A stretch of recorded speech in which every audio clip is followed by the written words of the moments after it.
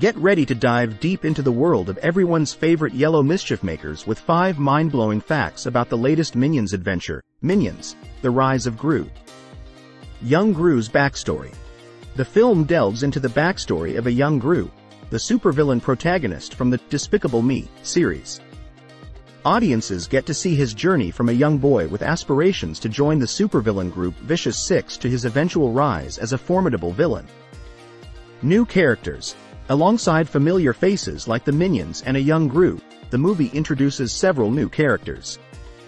These include villains like Belle Bottom, the stylish and ruthless leader of the Vicious Six, and Otto, an eccentric inventor with a knack for creating wacky gadgets.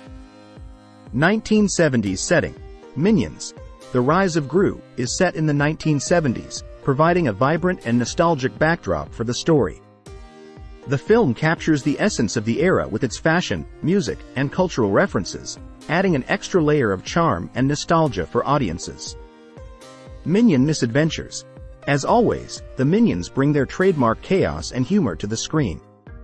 From their hilarious antics to their endearing camaraderie, the film is packed with laugh-out-loud moments and heartwarming scenes that showcase the Minions' unique charm.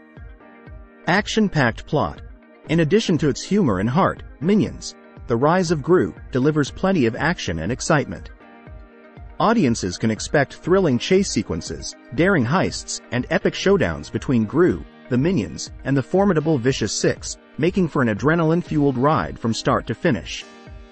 And there you have it, folks. 5 incredible facts about Minions, the rise of Gru, that'll leave you wanting more.